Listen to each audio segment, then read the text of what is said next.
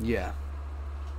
So we have the extra time small rare players pack, a special version of the small rare gold players pack with additional rare gold players. Now includes 12 items, all players, all gold, all rare. So what they've basically been doing is just upping them and upping them and upping them, making you think that you're getting more, but they've actually just turned it into another 50k pack, and yeah.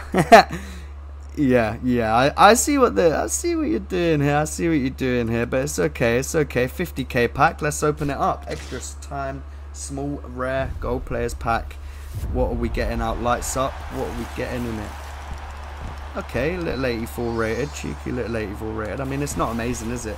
It's not nothing to cheer about, but I see what they've done here, though. I see what they've done. A few of these players could be worth a decent bit just because of SBCs right now. We're going to put these up onto the transfer market. Let's go. Decent little pack. I mean, you could get something in there. There's a lot of things in packs right now. It's not too bad. It's just a 50k pack though, isn't it?